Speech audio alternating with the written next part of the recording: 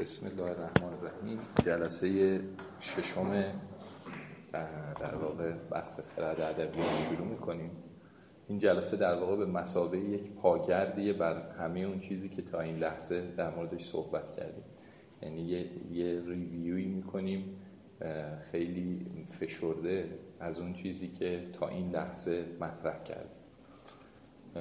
توی جلسات پیش من دیگه بحثایی که در حوزه روش شناسی تو دو, دو, دو سه جلسه اول مطرح شد اونها رو مطرح نمی کنم.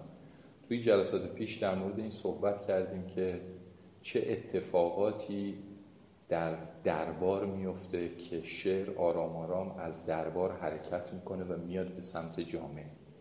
گفتیم زمانی که در واقع جنگ های ایران و روس در ایران اتفاق افتاد.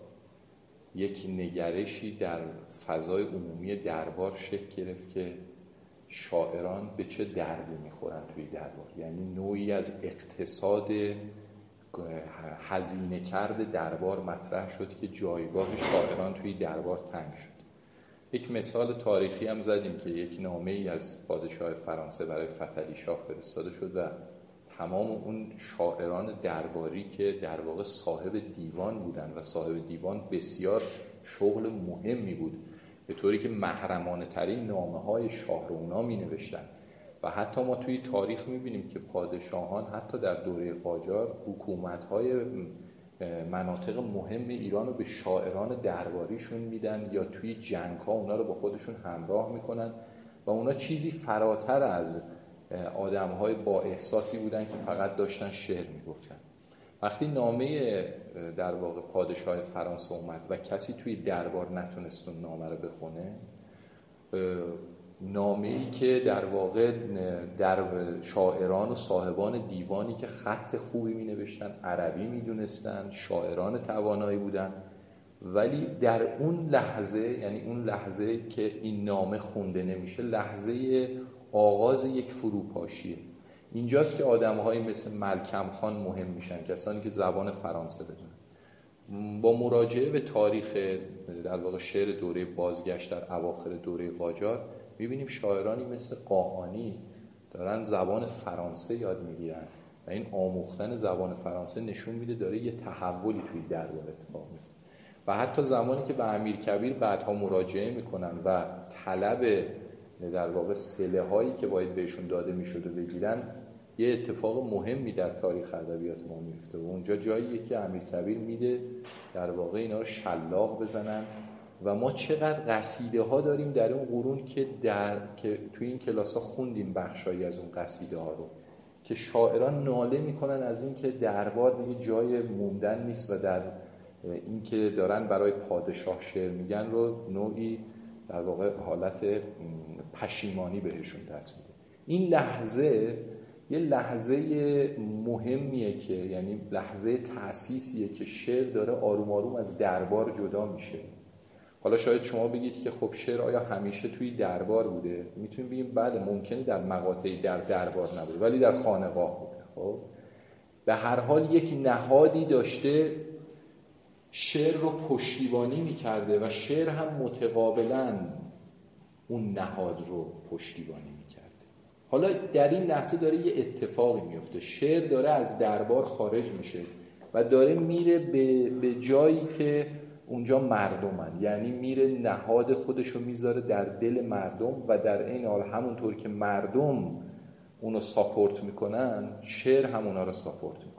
و از اینجاست که یه پروژه شکل می‌گیره به نام پروژه ملت سازی و مثال زدیم گفتیم امیر کبیر و در واقع با در دوره تنظیمات تلاش داشت که از راه اصلاح نظام پادشاهی با نوعی رفرماسیون فضای کشور رو برای عبور به مدرنیته مهیا بکنه. وقتی پروژه در واقع تنظیمات شکست می‌خوره خود به خود پروژه قانونگرایی انگلیسی ها مطرح میشه و پروژه قانونگرایی سرآغاز شکلگیری مشروطه است و انقلاب مشروطه فضایی رو برای شعر مهیا می‌کنه که بتونه کاملا در خدمت نهاد مردم قرار بگیره و در عین حال اصلا یه نقش جدیدی بگیره. شما مملو و از اشعار دوره مشروطه سخن از اینه که چطور مردم رو برای ورود به دنیای جدید تربیت اصلا مسئله تربیت انسان در شعر دوره مشروطه خیلی بولد میشه و اهمیت پیدا یه نکته دیگه که توی جلسات پیش بهش اشاره کردیم اینه که انسان ایرانی توی مقطعی که از جنگ‌های شکست جنگ‌های ایران و روس براش مطرح میشه این پرسش مطرح میشه که چه اتفاقی افتاده که ما دچار این هرمان شدیم؟ این پرسش خودش رو توی یه نظامی از مفهوم سازی در واقع آرتیکولیت می‌کنه کتگورایز می‌کنه مفصل بندی می‌کنه. این نظام مفهومی می‌خواد یه چیزی, یه چیزی رو می‌فهمه و همونطوری عمل می‌کنه. این گونه می‌فهمه که من یک اصل پاک و پاکیزه ای داشتم که این اصل پاک و پاکیزه که اتفاقا مثل همین دنیای غرب پیشرفته است این اصل طی حمله اعراب مغولان ترکان از بین رفته و من اگه بازگردم به این خیشتن خیش می‌تونم دوباره تو همون مسیری قرار بگیرم که توی غرب اتفاق حالا چرا این گفتمان بارور میشه؟ به خاطر اینکه ایرانی ها نمی‌تونستن برن سراسر غربی بشن. اساسا حتی شما در اون دوره نگاه بکنید تجارت کردن با غیر مسلمان رو خیلی جایز نمی‌دونستن. طبیعی بود که وقتی می‌خواستن در مواجهه با غرب و پیشرفتاشون می‌دیدن در عین شیفتگی با اون تصور می‌کردن یه گوهری در درون خودشون هست که فقط اون گوهر رو فراموش کرد کلی ادبیات اینجا تولید میشه. که نشون بده که آقا مثلا ما مقالاتی داریم در همون ادوار بفهمید مقالاتی داریم در همون دوره ها که از این سخن میگن که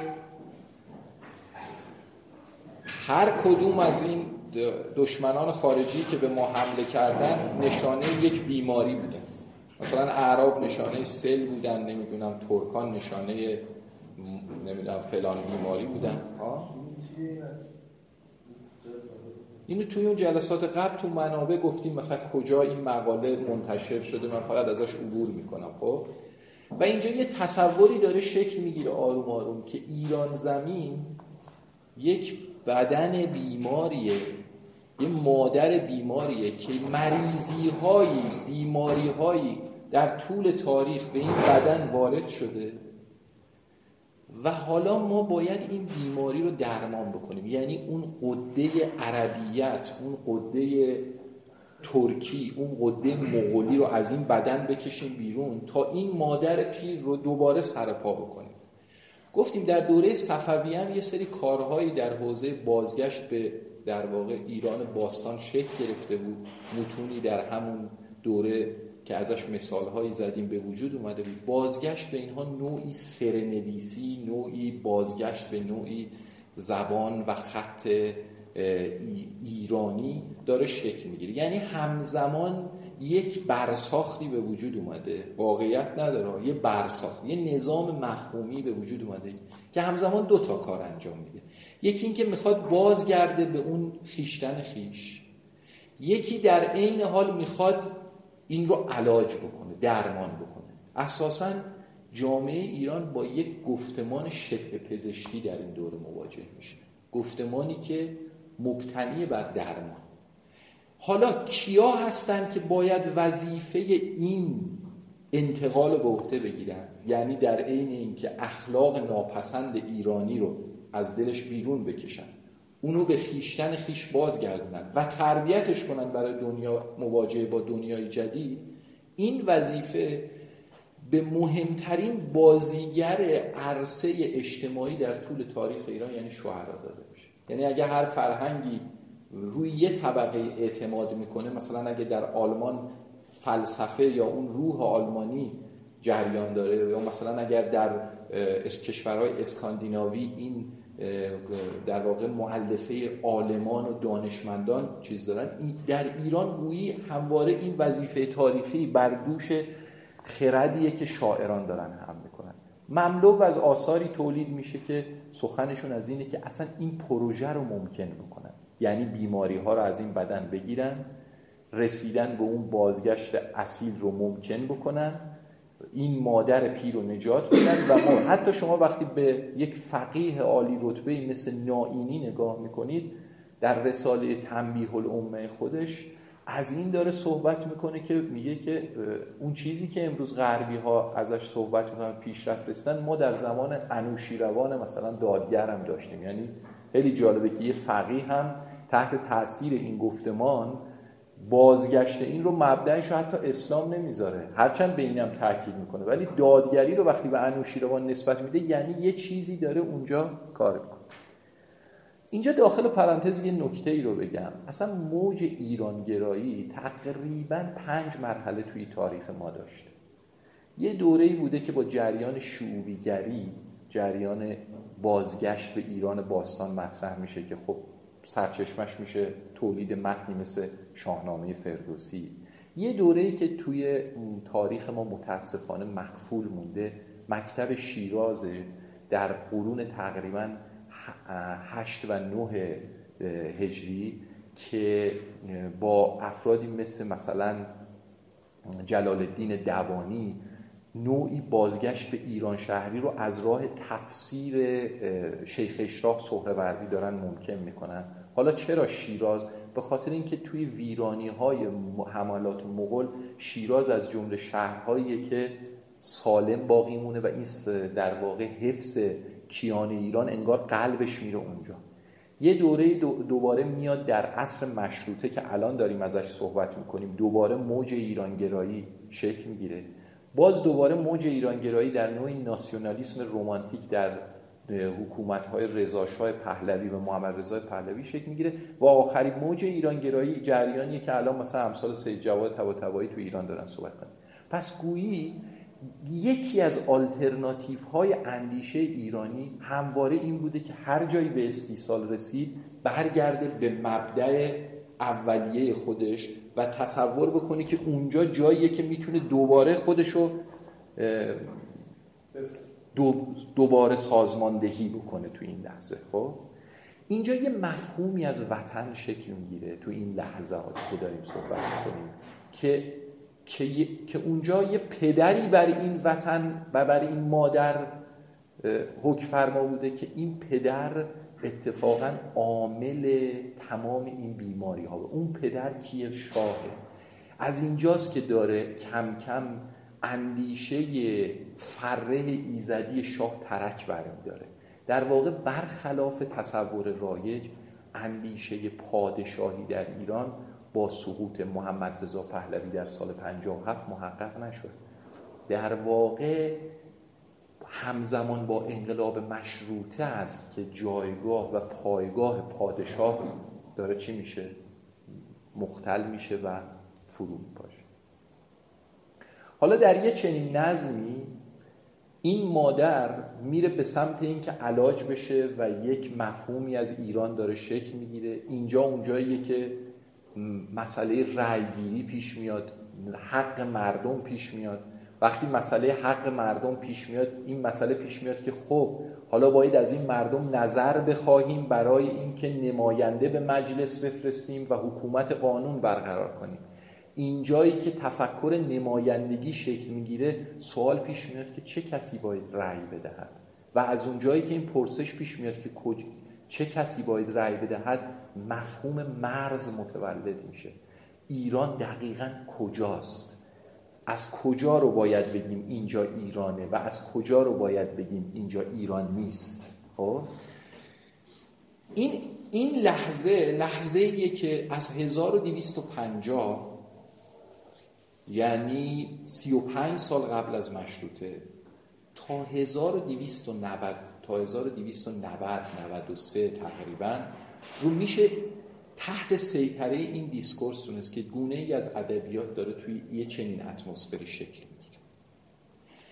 اما از این لحظه به بعد یعنی از لحظه شکست انقلاب مشروطه یه اتفاقاتی در تاریخ ایران میفته که این اتفاقات به قدر مکانیزمش پیچیده است که برای اینکه بتونیم بفهمیم که توی اون دیسکورس داره چه اتفاقی میفته باید یه مقداری دقیقتر و از نزدیکتر این قضیه رو معاینه کرد.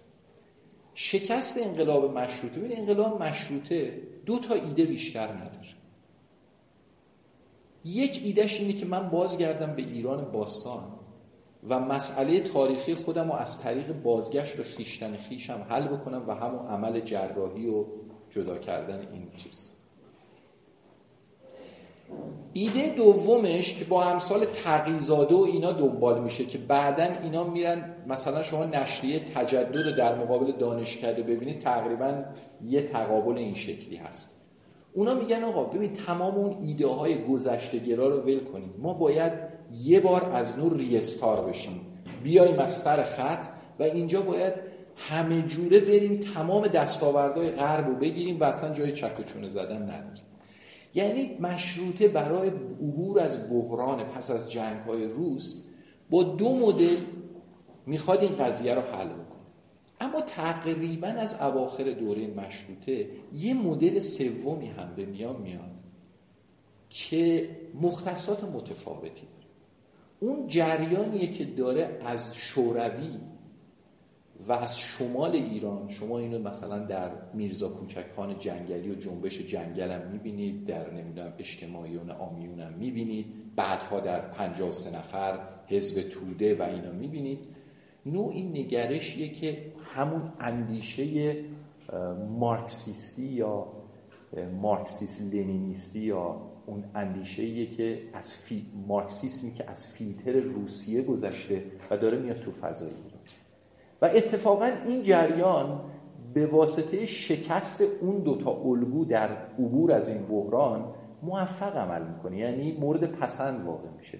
جریان سوم یا همون جریانی که با حزب توده داره وارد ایران میشه چند تا معلفه داره که اصلا کاملا بیشباهت به مفهوم پردازی دوره مشروطه. اون اساسا با مفهوم وطن بیگانه است. یعنی چیزی به اسم وطن داره از چیزی صحبت می‌کنه به نام جهان وطن. با نیشن استیت اصلا مشکل داره. یعنی دولت ملت سازی نیست. می‌خواد شهروند جهانی بسازه. اساسا مسئله کارگران و مسئله ظالمان.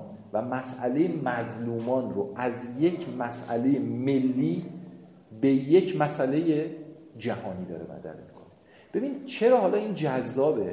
به خاطر اینکه برای ذهن انتلکتوهل های ایرانی مثل یه هدیه میمونه که ناگهان از راه دور بهش رسیده. چرا؟ چون این لحظه که احساس می‌کنه که اینطوری می‌تونه مشارکت بکنه در پروژه‌ای که اونو با دنیای جدید همگام بکنه. و در این حال انتقاداش رو نسبت به اون مدل انجام بده. چون در این حال که غرب و پذیرفته ولی خب با یه سری از معلف های غرب که نمی‌تونه کنار بیاد. یه سری از معلف های غرب مثل مثلا آزادی زنان مثل مثلا در واقع اون نظام طبقه بندی و بورکراتیکی که اساسا همگن نیست با فضای موجود در ایران حزب توده و جریان مارکسیستا می‌تونه کمک بکنه که از این مرحله عبور می‌کنن. حالا بذارین اینجا به یه سوال دیگه این وسط جواب بدیم تا یه ذره به بحث نزدیکتر بشیم. ببینید گویی ایرانی ها بعد جنگ های ایران روز تا همین لحظه ای که این اینجا ایستادیم دوچار یک سردرگمی در انتخاب آلترناتیو یعنی هیچ تفکر درونزات بومی وجود نداره که این بحران رو بتونه توضیح بده ما یه دوره میریم سراغ تنظیمات که الگوی عثمانیه یه دوره میریم سراغ قانونگرایی که الگوی انگلیسی هست. یه دوره میریم سراغ مارکسیستا که الگوی روس هست. از شهریور 1320 دستگاه روحانیت ناگهان از یک فقه سنتی ایستا تبدیل میشه به یک فقه سیاسی پویا که اتفاقا از تمام این جریانات چیزهایی رو وام می‌گیره و یه برساختی رو ایجاد می‌کنه که میگه ببین در مقابل تمام آلترناتیو های بیگانه من تنها آلترناتیوی هستم که از درون دارم پرابلم خودمون رو حل می‌کنیم. یعنی نه مدل روسی هم نه مدل انگلیسی هم نه مدل عثمانی هم نه مدل آمریکایی هم هیچ کدوم نیستم من مدل خودم. دقیقا توی اون دوره از کتاب های مثل اقتصاد در قرآن نمی‌دونم کتاب هایی که در حوزه حکومتداری نوشته میشه چون به خاطر اینکه اسلام سیاسی فکر می‌کنه که و هنوز هم بخش قابل توجهی از گفتمان جمهوری اسلامی اعتقاد داره که من آلترناتیوی هستم برای مواجهه با بحرانی که از قبل حالا اون بحران چه جنگ های ایران و روس باشه چه اساسا تغییر ماهیت فرهنگی موجود ما وظیفه اینو نداریم تو این جلسات. بگیم آیا این ادعا درسته یا نه؟ اما تا این لحظه مثلا یه دوره توی دهه هفتاد ما رفتیم سراغ ژاپن گرایی. بعد یه دوره رفتیم سراغ مثلا توسعه چینی خب؟ اساسا گویی یک آلترناتیوی که انسان ایرانی بیاندیشد در وضعیت درون ذات خودش گویی 200 ساله که ناممکنه حداقل. و اتفاقا می‌خوام بگم کور مرکزی بحث ما توی این کارگاه اینه که انسانی که همواره بر مبنای آلترناتیو ها زندگی کرده چگونه می‌تواند وضعیت تولید ادبی خودش رو پرابلماتیک بکنه و در گذر از این پرابلماتیک کردن بتونه بیاندیشه و در این حال تولید بکنه. یعنی من می‌خوام بگم مرکز بحث ما اینه که ما اساسا همواره در وضعیت ناپایدار نوعی انتخاب بین یکی از گزینه ها بودیم. خب تو این وضعیت اساسا ادبیاتی که مبتنی بر همین ساخت اجتماعی فرهنگی و سیاسی باشه خود به خود ناممکن میشه دیگه. من در خدمت من میگم که یه سوال دیگه برام پیش میاد که اصلا چرا انسان ایرانی براش مهمه که اوریجینال باشه در واقع چیزش؟ اصلش. روی کردش روی کردش به حل مسئله چرا باید اوریجینال باشه؟ ببین به نظر من خودش یک حرف نگفته در زیرش متصوره برای من. اونم این که ما هنوز انگار قرار جز پنج تا امپراتوری مثلا تاریخ جهان باشه. واقعا غیر از ما کشوری هستیم 80 میلیون جمعیت یک و شیش دهم میلیون کیلومتر مربع فکر مساحت. تقریبا یک صدم دنیای مثلا نظر. جمعیت فلان هیچ انسان ایرانی قبول نمی‌کنه که یک صدم دنیاست یعنی هیچ شاعر ایرانی قبول نمی‌کنه که اگر مهمترین شاعر ایران باشه در بهترین حالت ممکنش جزو صد تا شاعر بهترین دنیاست که امسال کتاب چاپ کردن. این هیچ شاعر ایرانی قبول نمی‌کنه. چرا اون حافظ داشتن سعدی داشتن و حالا در مثلا مسائل من میگم که ببین جز سه چهار تا کشور. که اینا کشورهایی که از نظر تاریخی سامان دهنده در واقع چیزن مدرنیتن در جهان. انگلستان فرانسه تا حد خیلی کمتری آلمان و تا حدی آمریکا. جز این چهار تا کشور حالا اگه بودم باشه من خیلی خاطرم نیست تمام بقیه کشورها در حال برداری بودن. چین اگر امروز در این جایگاه هست نگفته که برگرد سال 79 نگفته که پاس اقتصادش عوض کنه برگردیم کنفوسیوس که یه مدل عقلانی اقتصادی کلاسیکی رو در پیش گرفت. حالا بالاخره یکم بومیش هم کرد تو حد که خب طبیعی کمی بوم کردن که چیز عجیبی نیست. اولی مسئله که زبان با زبان به زبان در بیاد میشه بومی تا حد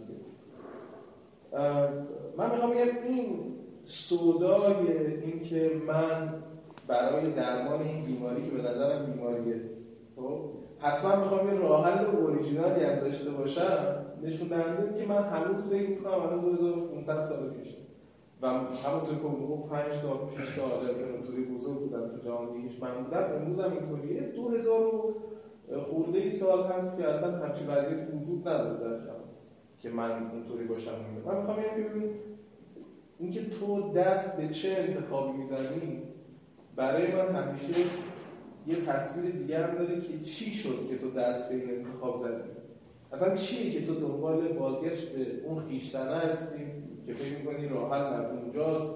یه چیزی که مثلا وقتی که یه نفر رو یک نفر کل دنیا دو سه نفر قربان و ایزوتسو فلان شهر میان سوره وردی تو رو کشف می‌کنن میان مثلا که نه تو هم بالاخره یه طرف امروزی می‌تونی داشته باشی از نظر فلسفه دنیا بعد تو انقدر خوشحال میشی که مثلا چیزه آره من حتما بعد همین ترکی تو از فرداش کل دانشگاه تو سوره وردی کار کنم 50 سال. که آره من اون که دارم باید مثلا خیلی کار کنم این یه میکردش هم این یه چیزه.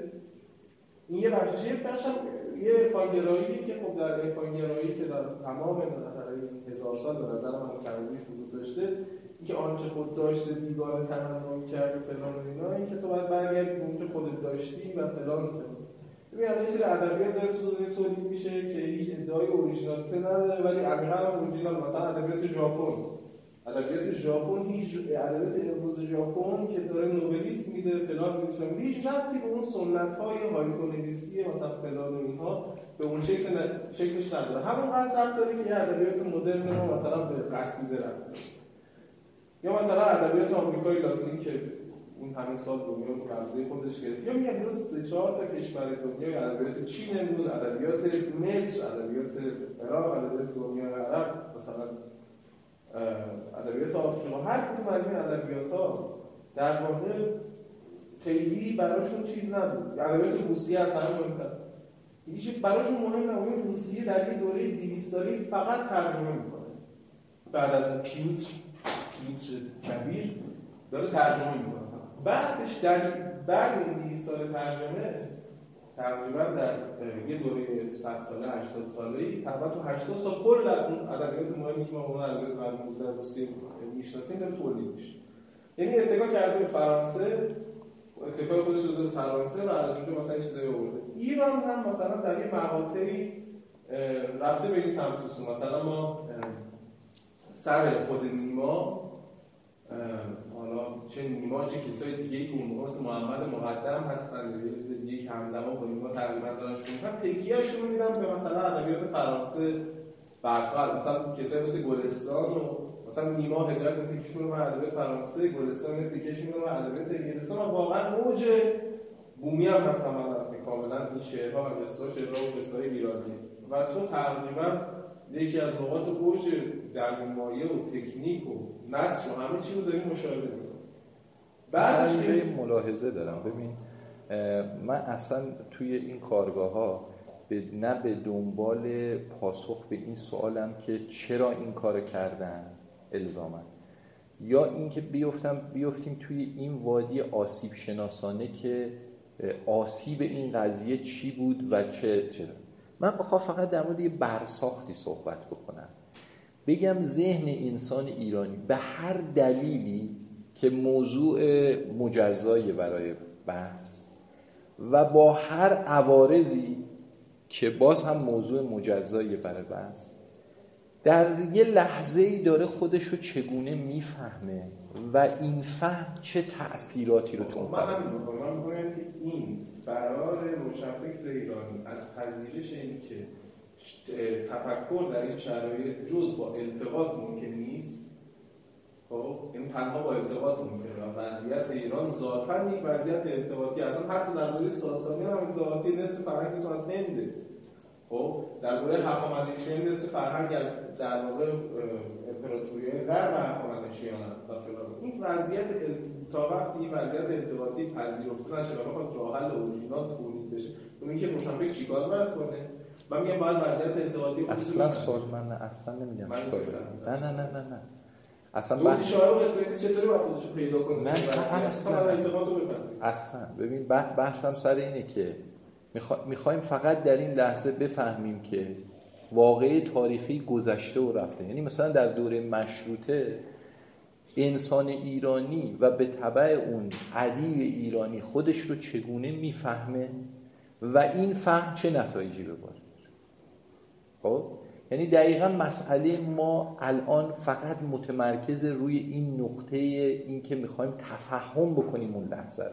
یعنی نه اون لحظه رو مورد پرسش قرار بدیم نه اون لحظه رو درمان بکنیم نه برای اون لحظه پیشنهادی بدیم. مخالف این قضیه هم نیستم می‌خوام بگم باید یه مقداری آروم بیایم جلو چون ما اول باید بفهمیم که اول باید وضعیتی که اکنون درش ایستاده ایم رو بتونیم خوب توضیح بدیم. این یه پیش یعنی وقتی تونستیم توضیح بدیم از راه نوعی از تفهم اون لحظه است که خود این تفهم که این جلسه تو پارت دومش در موردش صحبت می‌کنم می‌خوام بگم خودش می‌تونه چه نتایجی رو به همراه بیاره. اوکی؟ یعنی می‌خوام بگم من بگم سوال نه بحثم سر اینه که شاید به خاطر این این مسئله مشروطه نه سوال آخر در مورد خیلی خوب. حالا با این نظر که پیش در شده در امروز احساس همین چی باید کرد؟ آره آخر صحبت من ناظر برای این نکته شد که من می‌خواستم بگم که انسان ایرانی تا این لحظه هرگز نتونسته وضعیت خودش رو به صورت دروزات بیاندیشه. اصلا کاری به اون اوریجینالیتی ندارم. یعنی بتونه فرا مجزا از آلترناتیو ها این رو برای خودش ممکن بکنه یا لاقل بهتره بگیم یکی از سوداهاش بوده. خب؟ یکی از سوداهاش بوده که این اتفاق بیفته. جمله بعضی که این نکته من مثلا آلترناتیو صحبت دارم صحبت دارم که یه منظر در واقع نیمه فلسفی داره. باشه. اما خب وقتی جلوتر میایم که مصادف میشه با آلترناتیوی که در واقع حزب توده در ایران ممکن می‌کنه یه اتفاقی توی ادبیات ما میفته که تقریبا می‌تونیم بگیم اتفاق نادریه. یا می‌تونیم بگیم مطلقا اتفاق نادری که جلسه پیش در موردش صحبت کرد یه لحظه ای داره به وجود میاد که شعر فارسی در ایران صاحب پدر میشه. پدر شعر نوع فارسی میشه نیما اول اینکه اساسا در واقع به وجود آمدن پدر نوع شعر فارسی خود این واژه خیلی مهم نیست ولی پیرامونش خیلی حرفا میشه زد. یکی این که وقتی جایی میگیم فلانی پدر شعر نوع فارسیه گویی تا پیش از اون رو هنوز بخشی از ادبیات مدرن خودمون فرض نکردیم یا نوع خودمون در نظر نگیریم. یعنی گویی اون یک مبدعیتیه که نو بودن پس از اون اتفاق میفته. دومین مسئله اینه که همواره پدردار شدن یک جریان یک لحظه آنتولوژیک. یعنی یه لحظه هستی شناسان است. یعنی یه چیزی که تا اون لحظه داشته کار می‌کرده پس از اون قرار مورد یک بازخانی یک بازسازی و بازفهمی مجدد قرار اساسا لحظه ای که ما یه جایی رو تعیین می‌کنیم میگیم اینجا مثلا پدر نقاشی مدرن پدر شعر نو پدر سینما اینو داره شکل میره اساسا این لحظه لحظه آنتولوژیک لحظه هستی شناسانه پس اساسا نمیشه این منطقه رو معرفت شناسانه توضیح داد. یعنی این لحظه رو باید به مسابه یک لحظه کاملا آنتولوژیک تو توضیح داده. مسئله سومی که تو این لحظه شکل می‌گیره اینه که پس اگه این لحظه لحظه شروع شعر نوع پارسی ماست لحظه پیش از اون تا قبل از تا رسیدن به شعر بازگشت این لحظه چیه؟ یعنی این لحظه بخشی از شعر کهن ماست بخشی از شعر بازگشت ماست. یک نوع پیری مادرنیتیه چیه این قضیه؟ خب یعنی یعنی توضیح اون, اون لحظه رو خود به خود ناممکن بود. یعنی وقتی ما میگیم فلانی پدر شعر نوع فارسیه علنا به نظر می‌رسه که اصلا انگار از اینجا شروع شده بازی. و اگه نگاه بکنی تو کل تاریخ ادبیات هایی هم که می‌خونیم به غیر از مثلا بعضی از آثار که یه اشاره مختصری مثلا می‌کنن به پیشینیان نیما در دوره مشروطه توضیح این لحظه رو توضیح این لحظه رو که نیما به وجود اومده رو اینو مخفول می‌ذاره. و سوال چهارمی که در این لحظه این, این لحظه ملتهب اتفاق میفته اینه که چرا نیما و چرا مثلا مقدم نه؟ چرا نیما و چرا میرزاده عشقی نه؟ یعنی یک یک نقد ادبی ما تاریخ ادبیات ما در واقع تنها یک لحظه ای رو توصیف کرده. نتونسته لحظه ای رو توضیح بده. ما خیلی خوب می‌دونیم بر مبنای پیشفرز روش شناسی این کارگاه که هیچ امتیازی بین نیما و میرزاده عشقی نیست. اگه از نظر برساختی نگاه بکنیم. یعنی می‌توانست یک کس دیگری پدر این شعر بشه. و تمام اون عقبه و نمی‌دونم نقاط اوجی که بر نیما بر شمارن مال پس از پدر شدنشه نه در لحظه پدر شدنش. چون در لحظه پدر شدنش اتفاقا به شدت داره بهش حمله میشه. یعنی نیما داره لح... یعنی می‌خوام بگم پدر شعر شدن نیما مال لحظه شعر گفتن و چاپ کردن نیما نیست. مال لحظه بعد از نیماست که داره این لحظه رو گونه ای می‌فهمه که اونو پدرش. خیلی نکات بس اینجا هست که ما سعی کردیم جلسه پیش یه بخشی از این پیچیدگی لحظه پدر شدگی رو توضیح بدیم. حالا من می‌خوام برگردم به مثلا دو سه دهه جلوتر از نیما. یعنی جایی که نیما داره پدر میشه. در واقع فهمی از نیما 20 سال بعد از خودش 30 سال بعد از خودش شکل می‌گیره که اون فهمه که اونو داره پدر می‌کنه. نه تو اون لحظه ای که اون داره تأسیس میشه.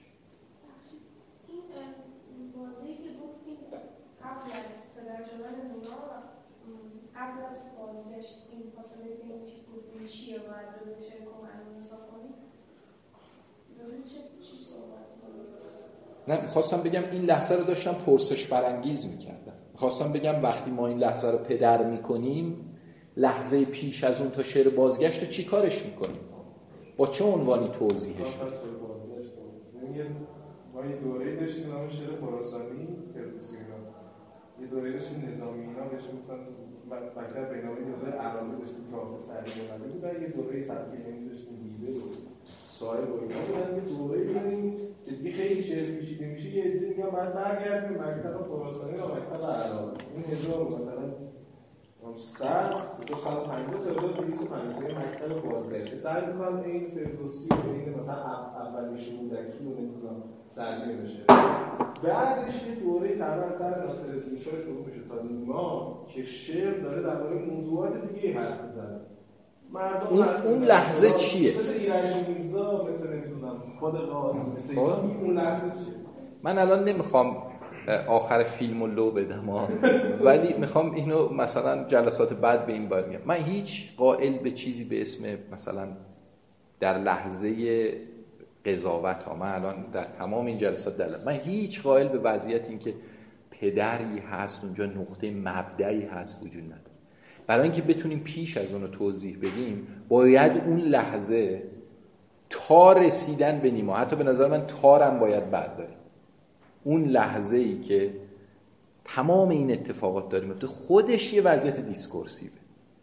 یعنی اساسا مبدع گذاشتن برای یک جریان نوعی افتادن تو فلسفه سوژه است. یعنی گویی یه نابغه وجود یه نفر بعد ببین تا به حال از نیما عموما روایت های روین تنانه روایت شده یعنی یه قهرمانی که ناگهان در یه ظلماتی میاد و تمام معادلات رو به هم میریزه و یه تنه میسته و شعر نوع پارسی ساخته میشه. در که اینا همه برساختای دهه های بعد از این ماه. در لحظه تحصیلی ما چه اینقدر؟ اساسا اعتقاد به این ندارم که یک نابغه ای وجود داره که میاد یه لحظه رو تأسیس می‌کنه. اون لحظه است که اون نابغه رو تأسیس می‌کنه. اگه نابغه باشه. یعنی می‌خوام بگم اینجاست که می‌خوام یه ذره سمت و سوی پدیدار شناسانه به بحثم بدم. در عین حال که سویه های discursive و گفتمانی داره. اون اگه اجازه بدیم که به جای اینکه ما در مورد اون لحظه سخن بگیم اجازه بدیم اون لحظه در مورد خودش سخن بگه نیما محصول سخن گفتن اون لحظه است. نه اینکه نیما کسیه که اون لحظه رو منقطع کرده تا ما رو از اونجا یعنی مثلا بعضی یه مبدع میزن یا بعد از قغنوس خب؟ اینا همه جعلیه یعنی اینکه آقا از این بعد بوفکوره که رمان فارسی داره شکل می‌گیره خب؟ ولی اگه اون لحظه رو یه مقداری دیسکورسیو ببینیم سایه روشناش عقبتر میره. یعنی شعاعش تغییر می‌کنه. اینا که دارم میگم پیچیده؟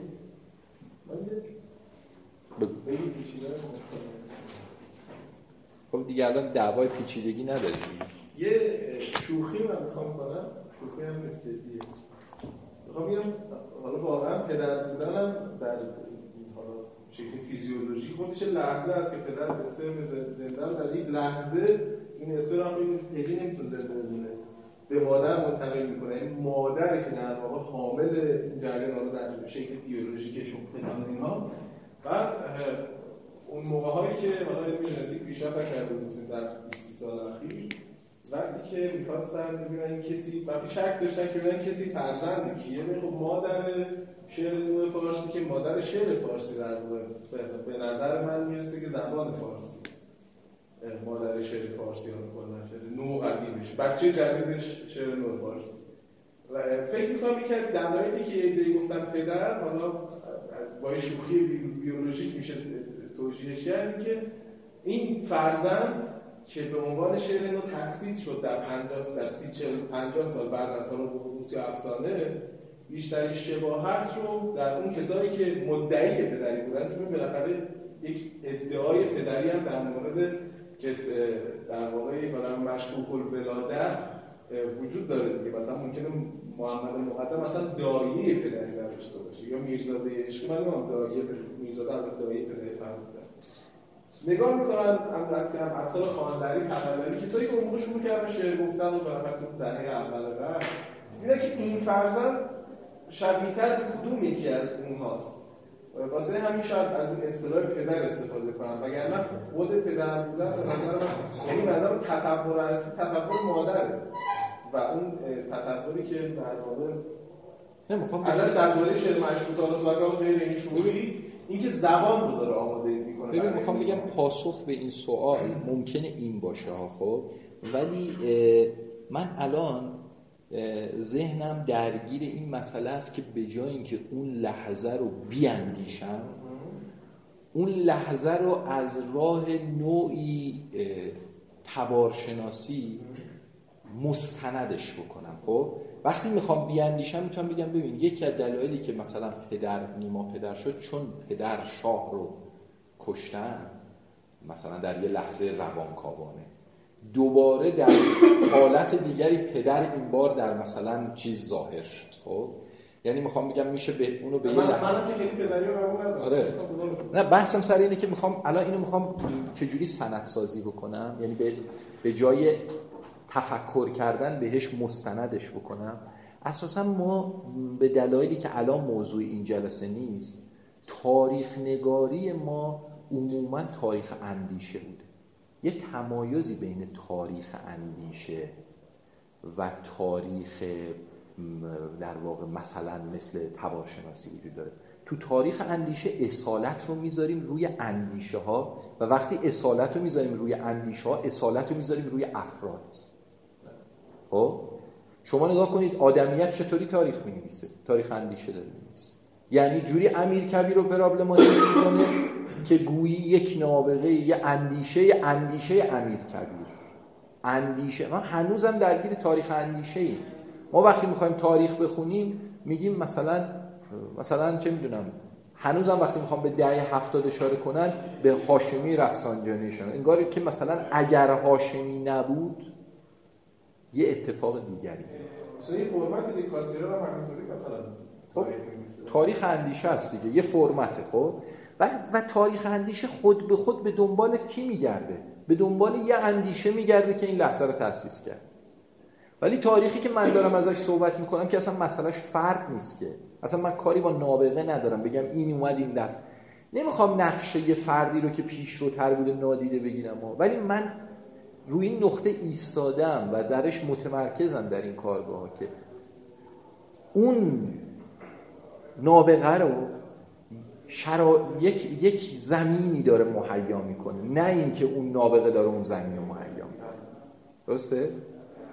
حالا می‌رسیم به یه لحظه ای که باید به این سوال جواب بدیم که چرا نیما میشه پدر نوع فارسی. خب؟ ببینید نیما دیگه مثل شاعران شعر مشروطه از مادر وطن نمی‌دونم. از یه بیماری وطن و از تمام اون فاینال وکابیلری ها لغات نهایی که داره مشروطه در شعرش استفاده می‌کنه استفاده نمی‌کنه. اتفاقا نیما داره در یه وضعیت لوکال در یه وضعیت طبیعی. از طبیعتی سخن میگه که تمام معلفه های اون اون سرزمین جهان وطن رو ممکن می‌کنه. یعنی در عین اینکه لوکاله در عین حال جهانیه. اینجا دقیقا محل ترمینال تمام می‌دونی خود نیما مثلا برادرش هم رفت تا روسیه و جز اون جریانات مثلا حزب توده شد و به هر حال جریان 53 نفر و فضا اونجا مهیاست. اساسا طبیعت برای ماتریالیست مهم بود. شما اگه به 99 درصد میگم میگم 100 درصد چون همشو نخوندم نمیگم. به کتاب های نقد ادبی که در ایران نوشته شده اشاره کنید همشون میگن نیما طبیعت گرایی رو احیا کرده از طبیعت مازندران صحبت کرده. ولی هیچ کدومشون در مورد این صحبت نمی‌کنن که خب اصلا چرا این طبیعت مسئله مهمی برای اونایی که می‌خواستن نیما رو پدر بکنن شد؟ خب؟ می‌دونید دیگه در تلقی ماتریالیستی جلسه پیش گفتیم طبیعت یعنی مادر یعنی گویی آن مادر مشروطه که در مفهوم وطن خودشو بازسازی می‌کنه اینجا میاد خودشو توی چی؟ توی طبیعت بازسازی می‌کنه و, و نیما در دوره دوم شعرهای خودش این طبیعت رو تبدیل می‌کنه به چی؟ به خلق یعنی وقتی میره سراغ شعر آی آدم ها و اینا دیگه اون طبیعت گرایی به سمت نوعی خلق گرایی پیش میره. و اتفاقا این خلق گرایی هم با discourse زمانی خودش همگام و بیایید یه لحظه ای بیایم توی اون لحظه پدیدارشناسی هوسرلی که میگه بازگردیم به خود چیزها. اگه اشتباه نکنم باید اصطلاح آلمانیش هم زاخن باشه خب؟ بازگشت به خود چیزها. می‌خوام بگم اگه برگردیم به لحظه تأسیس اون جایی که بهش میگن پدر شعر فارسی یعنی برگردیم به خود اون چیز و بذاریم اون لحظه شروع کنه با ما سخن گفتن متوجه میشیم که گویی طبیعت به سرنوشت شعر فارسی بدل میشه. بعدها رویایی در دریایی ها و دلتنگی ها به این طبیعت با بیژن الهی به این طبیعت بازی سهراب سپهری به این طبیعت باز میگرد اساسا لحظه تاسیس داره یک یک بازگشتی به طبیعت رو تکثیر می‌کنه در سرنوشت آینده خودش چقدر فکر می‌کنه به خاطر استفاده سیاسی بود و استفاده های یه بخشش هم همینه ولی سوال اینه که چرا؟ نه می‌خوام بگم چرا اون استعاره ها شهری نمیشن و طبیعی میشن؟ چرا مثلا فضایی نمیشن و طبیعی میشن؟ مسئله اینه که اون لحظه ای که داره طبیعت ممکن میشه.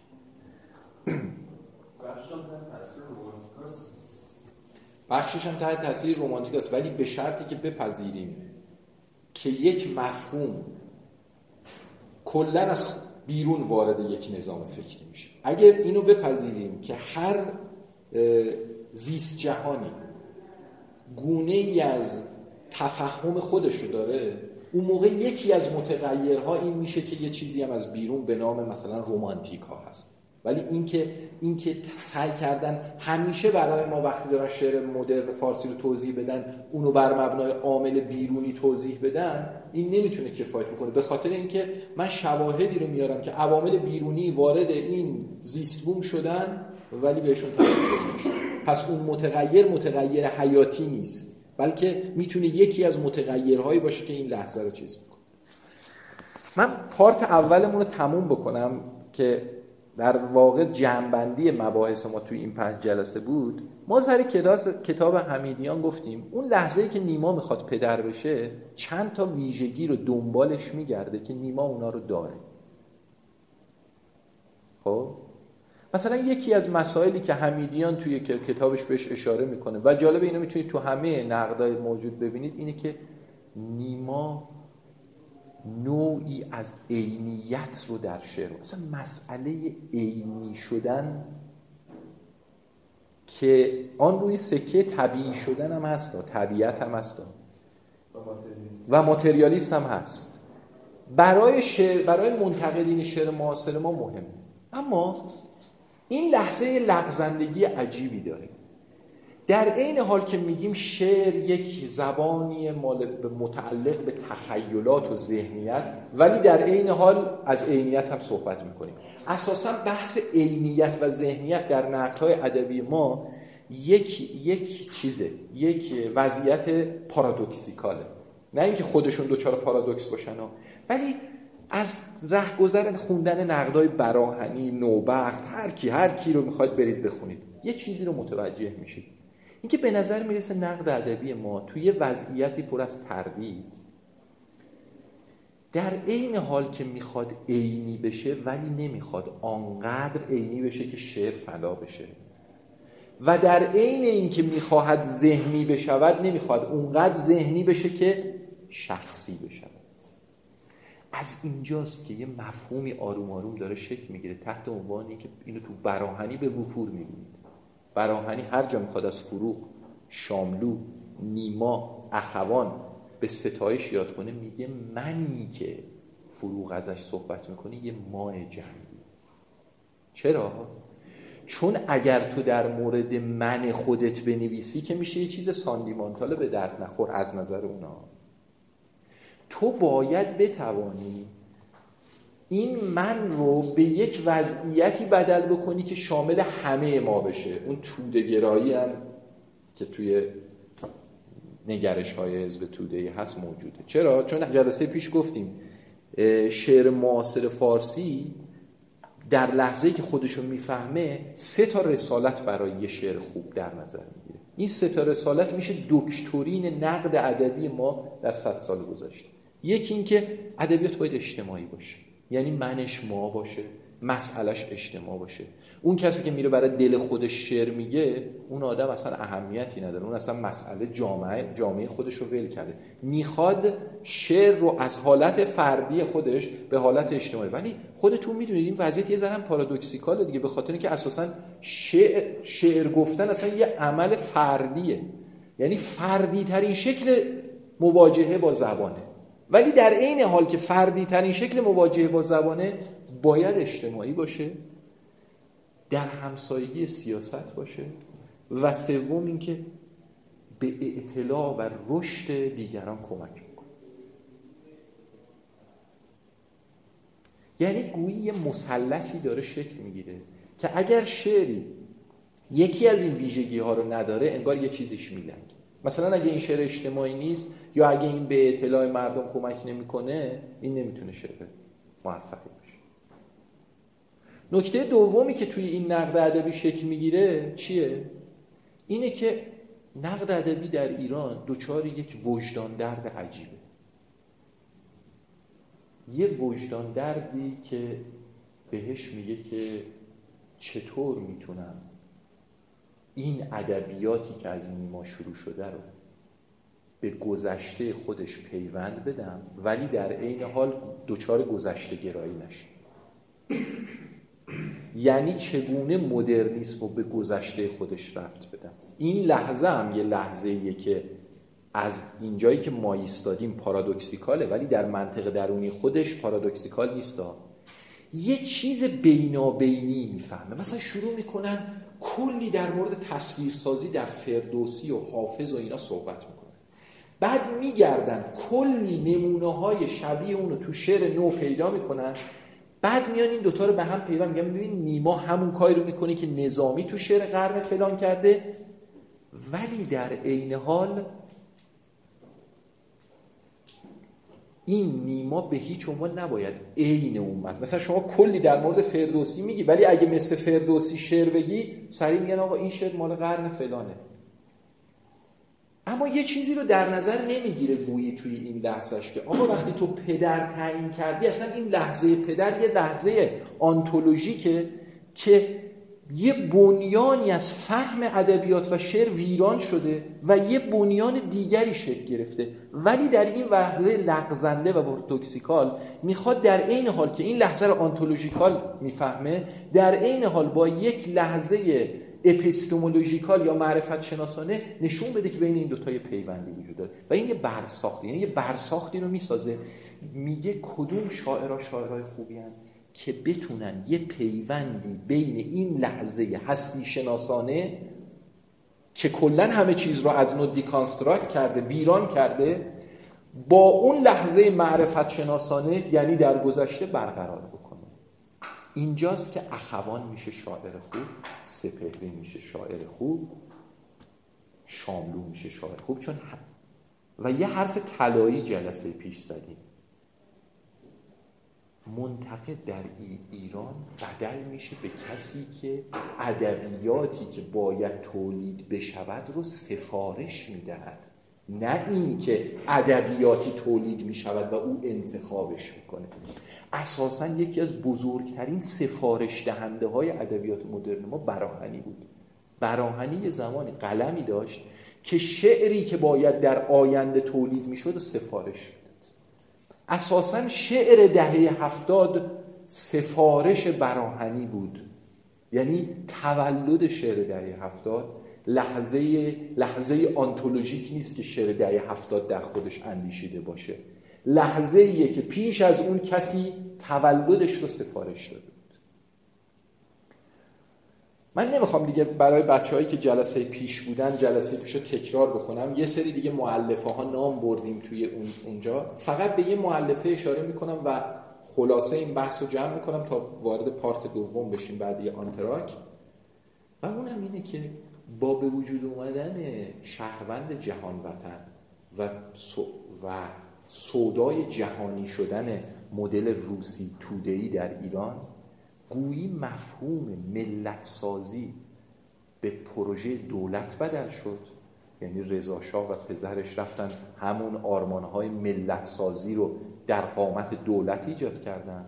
پروژه ملت سازی اساسا به جای اینکه وطن رو پرابلماتیک بکنه چی رو پرابلماتیک کرد؟ رفت به سمت اینکه عدالت و ظلم جهانی و معلف اصلا شعر ما رفت به سمت اینکه معلفه های جهانی پیدا کنه. چه شعری می‌تونه با ویژگی ها و معلفه های جهانی همخوانی داشته باشه؟ که اون سه تا فاکتوری که بهتون گفتم اجتماعی بودن همزیستی با سیاست و اطلاع دادن آدما تو اون راستا توی بدن تو, تو چی میگن؟ توی اون بدن این شعر موجوده. خب؟ دقیقا این لحظه که پروژه ادبیات ما جهانی میشه و پروژه حاکمیت ما در دوره شاه دولت ملتی میشه این لحظه باید یه جایی به هم تلاقی پیدا چون اینا دو پا هم راستا نبودن. این لحظه است که دهه پنجاه شعر چیریکی و جنگل و فلان و اصلا لحظه انقلاب لحظه تصادمه پروژه ملتسازی مشروطه است که در بدنه دولت مستحیل شده با پروژه جهانی, جهانی اندیشیدن و داخلی عمل کردن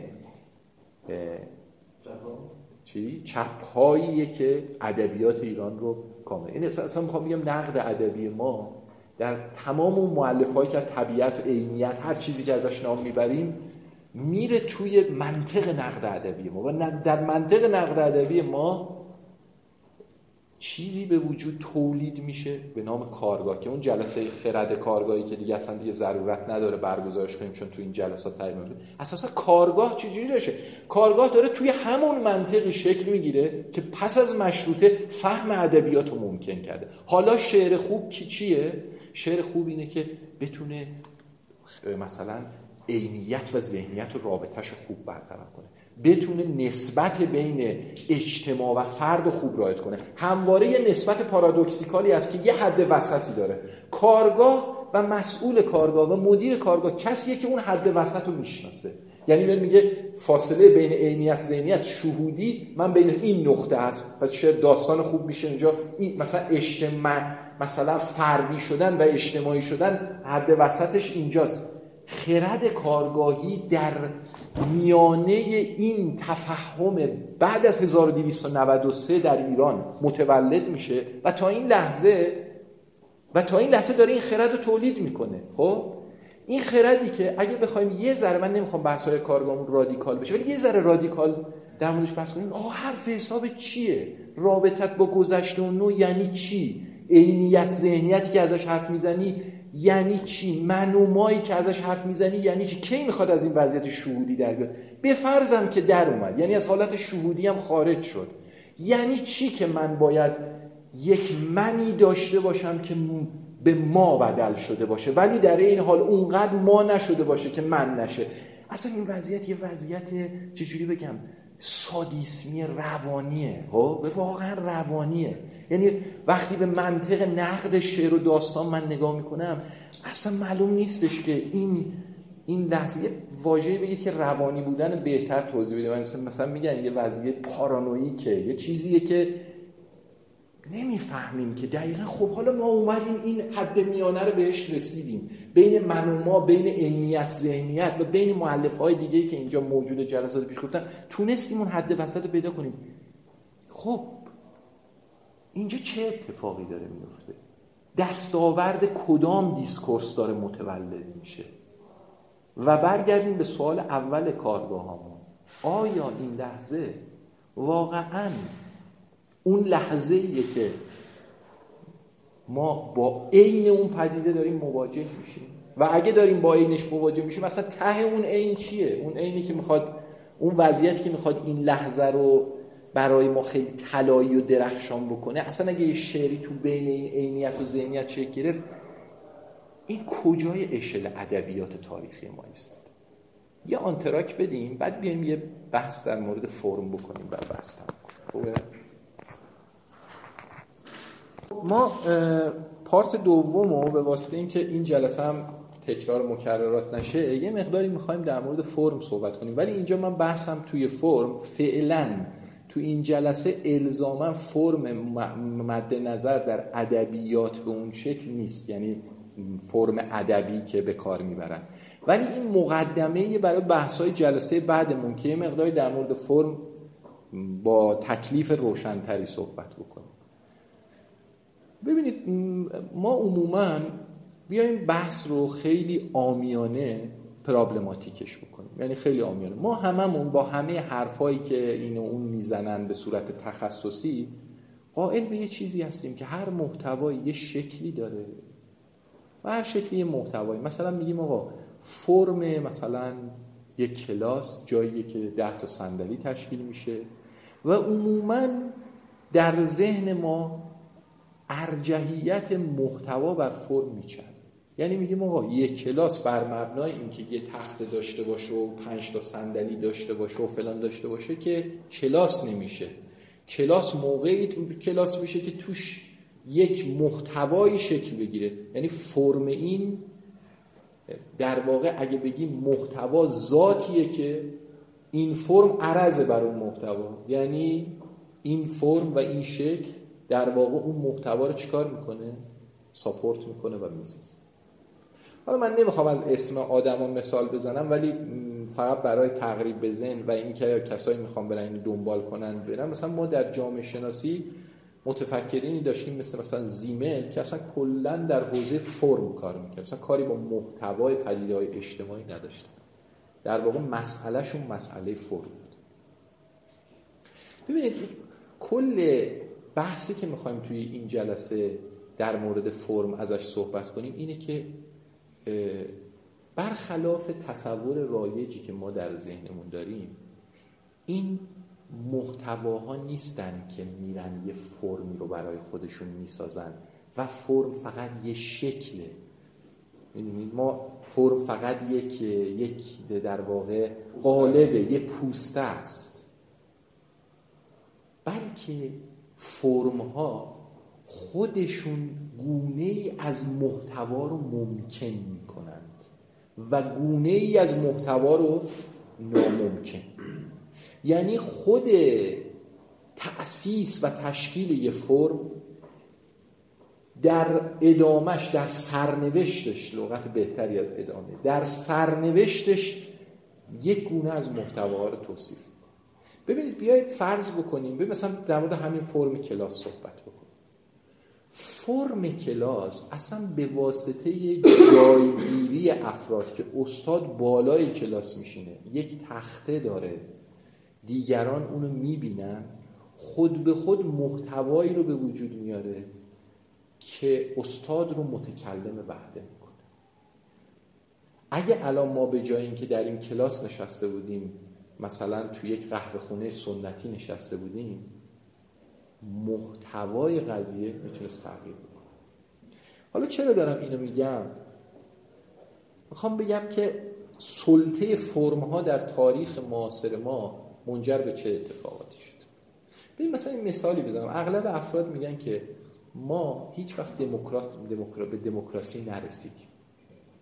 هیچ وقت نتونستیم یه جامعه آزادی بشیم. به قول صحبت های پارت اول بهزاد گویی که همه از این وضعیت ناراضی و شاکی هن و هیچ کس چیز نیست. ما اینجا وقتی میگیم ما به دموکراسی نرسیدیم یا به یه شکل ادبیات جهانی نرسیدیم یا آدم های متکاملی مثل مثلا اروپایی یا ژاپنی ها نشدیم در همه این حرفا اینجا بحث ما فرمیه یا محتوایی؟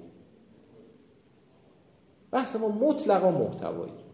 یعنی ما توی یه ساحتی هستیم که میگیم آقا فرم که یه پوسته و شکله. آن چیزی که اهمیت داره محتواه. گیریم که ما مجلس هم داشتیم. وقتی مجلس ما نمی‌تونه دموکراسی تولید بکنه مجلس به چه درد می‌خوره؟ ما انتخابات هم داریم.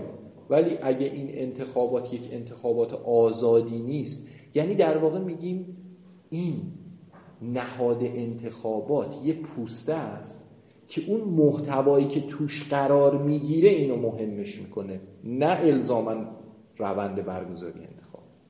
اما من می‌خوام بگم بیایید بیایید یک بار موضوع رو از اون زاویه ببینیم. یعنی لاقل فرض بکنیم که می‌تونیم از اون زاویه ببینیم. ببین شما اگه به یه متفکری مثل وبر مراجعه بکنید وبر توی جامعه شناسی میگه وقتی شما یه نهادی مثل مجلس داشتید خیلی فرق می‌کنه با زمانی که هنوز مجلس ندارید. وقتی یه نهادی مثل انتخابات دارید خیلی فرق می‌کنه که تا زمانی که انتخابات ندارید یعنی در واقع فرم مجلس خود به خود ظرفیت هایی رو برای دموکراتیک کردن محتوای درونی خودش در خودش داره. اساسا جایی که یک سیصد نفر آدم می‌خوان در مورد یه چیزی تصمیم بگیرن و اونا انتخاب شده مردم هستن و قراره که صدای مردم رو به گوش چیز برسونن حتی اگر انتخاب شده واقعیش هم نباشن وقتی در اون فرم قرار می‌گیرن ناچار میشن. حتی اگر به شکل ناقص هم که شده مدام محتوایی که اون فرم طلب می‌کنه رو تکامل ببخشن. برای همینه که شما می‌بینید خیلی از آدم هایی که تا قبل از اینکه بیان مثلا وارد این نهادی مثل انتخابات مجلس یا ریاست جمهوری بشن یه آدم بودن ولی واقعا بعد از اینکه انتخاب شدن یه آدم دیگه شدن. این به معنای نیست که آدم فریب کارن مثلا میگن اینا کلک زمین این همون آدمه. الان که انتخاب شده دیده داره اصلا رأی آورده داره این حرفا رو می‌زنه. نه.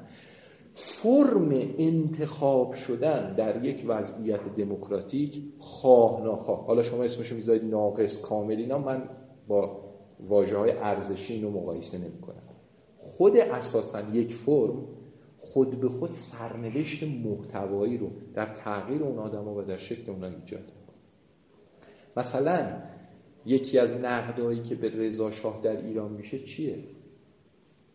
رضا شاه بیش از اینکه درگیر محتوا در ساختار قدرت در ایران باشه درگیر فرم بوده اساسا فرم هایی رو ممکن کرده که امروز که یه دی با این محتوا مشکل دارن مسئله اینه که آقا من اصلا نمی‌تونم دیگه اون فرمه رو خرابش بکنم. یعنی وقتی یه فرم تأسیس میشه خود به خود دیگه خراب کردنش کار سختی میشه. این ببین برخلاف مفاهیم که میگیم تاریخی تغییر می‌کنن و توی اون آنتراک در موردش حرف زدیم فرم ها به شدت سخت جان.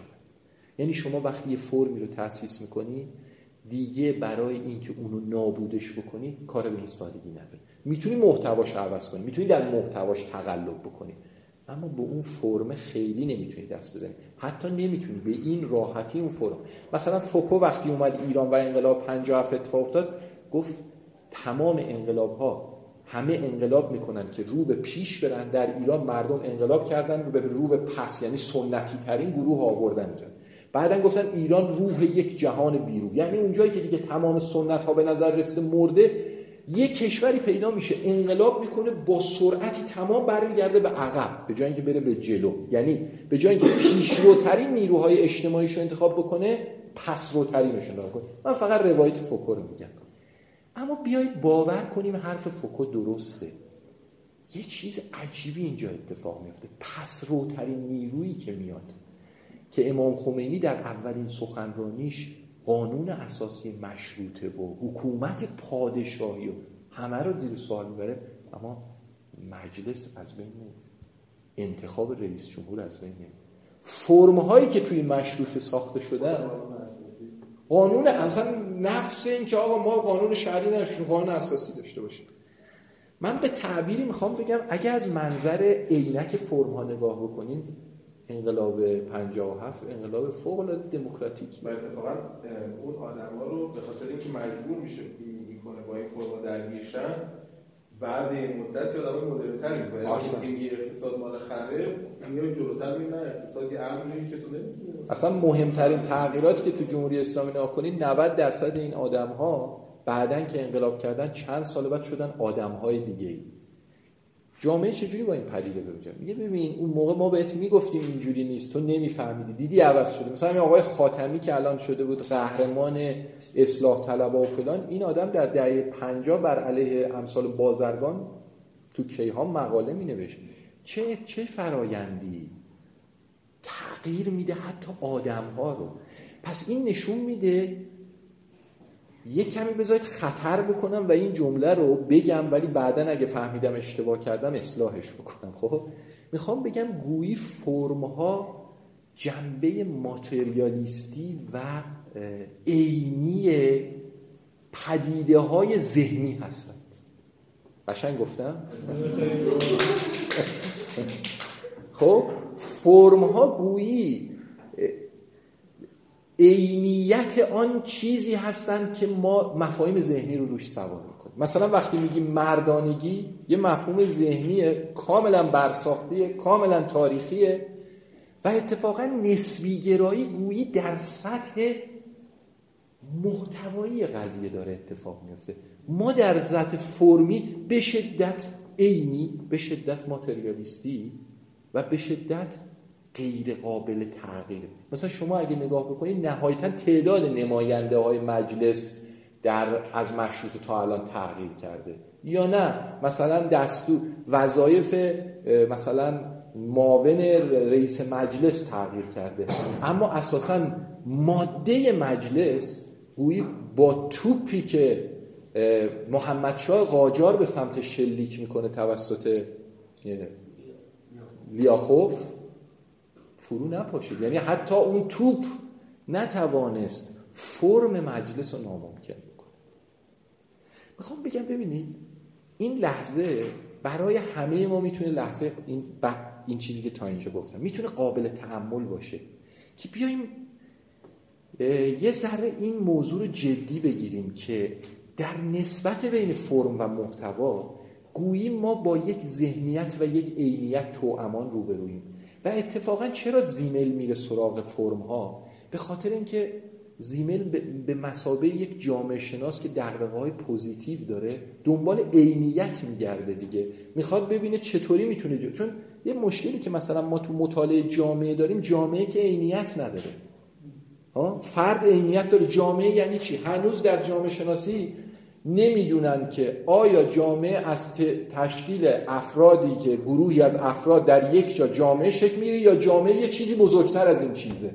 به تعبیر دورکیمیش دورکی می‌گفت جامعه بزرگتر از همه افرادیه که توش هستن. یعنی یه چیزی مضاعف بر همه افراد داره.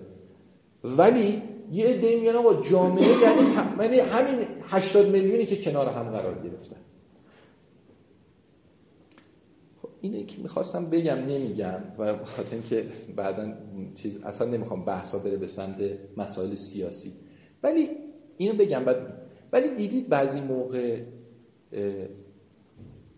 توی عرصه سیاست و اجتماع خود بازیگران می‌خوان یه چیزی رو تغییر بدن ولی ساختار و فرم اجازه نمیده. یعنی مثلا الان شما الان برید با تک تک آدم هایی که مثلا منتقد وضعیت موجودن. تا بالاترین سطوح صحبت بکنین از وضعیت موجود ناراضی اما انگار یه نیروی وجود داره که هیچ اراده ای نمی‌تونه اون وضعیت رو تغییر بده. مثلا شما مثل این میمونه که یه خانواده رو در نظر بگیرید یه فرمه. یه فرمیه که توش یه محتوایی وجود داره که از پدر و مادر و بچه ها و مثلا همه تشکیل شده. گاهی اوقات خود این فرم به قدری قدرتمند و صلب میشه که حتی وقتی تک تک افراد تصمیم می‌گیرن که کاری رو نکنن فرم اجازه نمیده. مثال بزنم. ببینید مثلا فرض کنید که پدر یه خانواده درآمد لازم رو نمی‌تونه چند ماهی تأمین بکنه و این خانواده می‌خوان برن توی عروسی شرکت بکنن. تک تک اعضای خانواده اعتقاد دارن که آقا ما توی این مراسم عروسی هیچ هدیه ای نخریم ببریم. یعنی منطقا به این نتیجه مثلا ما پولی نداریم که هدیه ای بخریم. اما گویی فرم خانواده یک محتوای مضاعفی رو تولید می‌کنه که میگه ببین تو اگه خانواده شدی نمی‌تونی بری توی مراسم عروسی شرکت بکنی و مثلا هدیه نخری. حتی شده قرضم بگیری با. یعنی با این که علا رغم میل تک تک اعضای خانواده است ولی فرم داره کار خودشو می‌کنه. شما حالا ببخشید.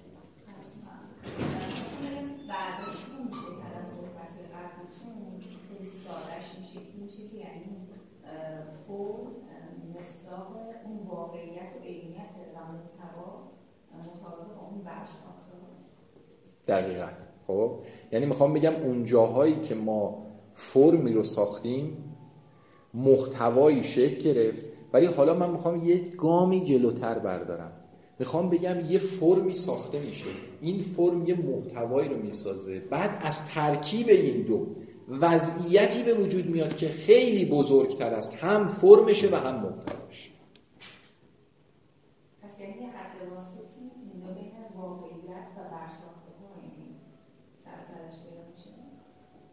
آره یعنی من می‌خوام بگم فرم ها عینیت بیشتری نسبت به مفاهیم دارن. ولی ما تمرکزمون رو می‌ذاریم روی چی؟ ما تمرکزمون می‌ذاریم روی مفاهیم که برساختی هن. تاریخی هن.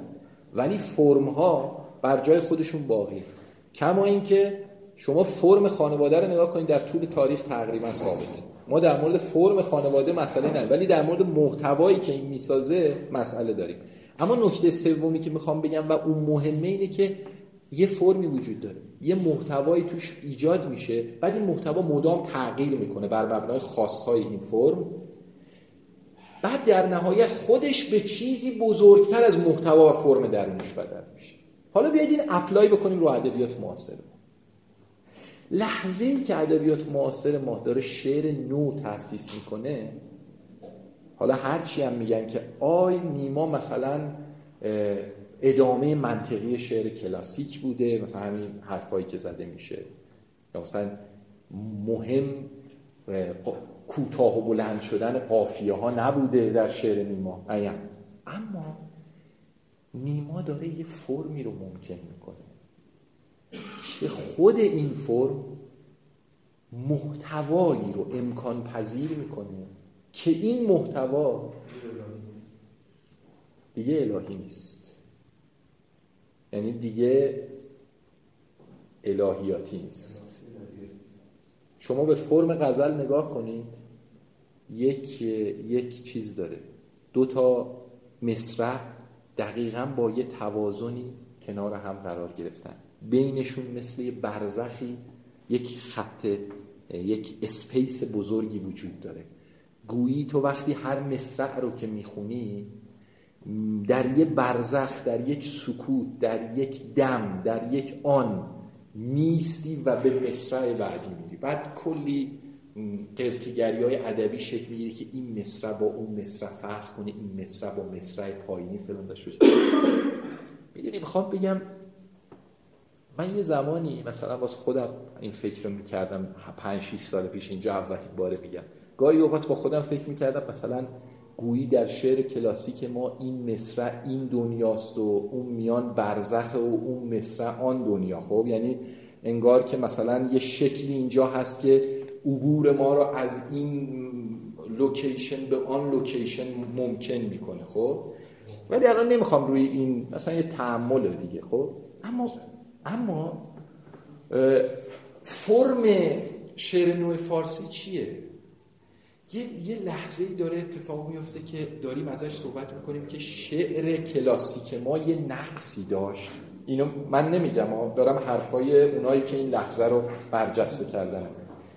میگه شعر کلاسیک ما یک نقصی داشت که از منظر عمودی شعر با هم هماهنگ نبود. اصلا این منظرش افقی بود. یعنی این بیت با بیت پایینی هم. ولی شعر نو از منظر عمود داره خوب من می‌خوام بگم اون فرم اصلا نمی‌تونه به اندازه فرم شعر نو عمودی باشه. اصلا گویی هر کدام از این دو لط یعنی لط اینور و لط اونور برای خودش داره از یه جهانی داره صحبت می‌کنه. هم به قول ایشون خب؟ اما شعر چیز؟ شعر نو فرمش اساسا یه فرم ایندیویژواله نابرابره.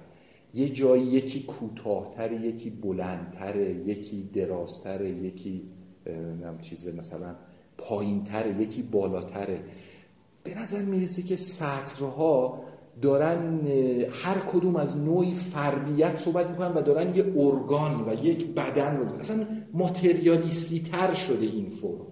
اگه اون فرم یه به اون تعبیری که قبلش گفتم یه مقداری توی اون نظم کلاسیکش و اون میانه ای که بینش هست داره یک ماهیت کیهانی رو یه نظم جهانی رو نشون میده. این اتفاقا داره تبدیل میشه به به اون مجسمه معروف نوتردام که از هر کجا نگاهش می‌کنی از یه طرفی انگار داره میریزه. یعنی از این ور میدان نگاه می‌کنی احساس می‌کنی سرش داره میریزه از اون ور دستش داره ولی وقتی بهش نزدیک میشی می‌بینی این یکیه و به قول دکتر علی شریعتی میگه انگار این لحظه اون لحظه ای که انسان مدرن رو داره توضیح میده. از دور انگار داره فرو میپاشه. ولی وقتی از نزدیک داری میری می‌بینی می‌بینی در تمام این پراکندگیاش یه وحدتی موجوده. این فرم گویی از دور در حال فرو ریختنه. ولی در نزدیک گویی نظمی تمام این اجزای پراکنده رو داره به همدیگه متصل می‌کنه و دیگه اصلا ما میایم توی شعر فرم هایی داریم که آقا تو مثلا مثلا مثلا پرویز اسلامپور بگه دیوانه با غروب بعد غروب رو بذاریم ور زنگوله هاش بر گوش بعد این زنگوله هاش بر گوش جوری از نظر تصویرش که مثلا ما به صورت مادی و ماتریالیستی میره چرا میگم روی این کلمه مادی دارم تکرار می‌کنم؟ می‌خوام شما رو ارجاع بدم به اون لحظه آغاز طبیعت اون عینی شدن. گویی شکل شعر هم یک تمایلی برای عینی کردن این فضا رو این ساختار رو داره و می‌خوام این لحظه رو یه ذره پیوند بدم. بگم اگر یعنی بذاری خطر بکنیم و این جمله رو بگیم. آره خطر کنیم و اینجور من می‌خوام بگم اگر نهادی مثل مجلس یک فرم قدرتمندیه که خود به خود محتوای خودشو می‌سازه و اگر بپذیریم شعر مهمترین رسانه ما لاقل تا همین مثلا سی چل پنجاه سال گذشته بوده و اصلا خرد خرد ایرانی همواره به زبان شعر سخن گفته به زبان شعر تفلسف کرده. آیا خود فرم شعر نو؟ در سرنوشتش نوعی انقلاب کردن وجود نداره.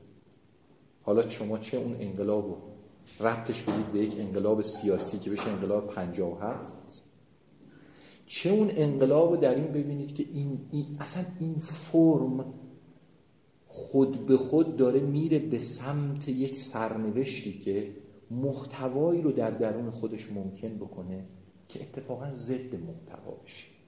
یعنی بیاد برسه توی شعر دهه هفتاد و, و, و این فرم اجازه نده که در واقع به مصنوی فرمی بوده که مثل, مثل ارائه دادن یه لکچر بوده. مهمترین حرف ها و آموزه های اخلاقی و فلان در قالب مصنوی ممکن می شده خب؟ می‌خوام بگم همواره سعی کردن شعر فارسی رو در رهگذر محتواهاش بررسی بکنن.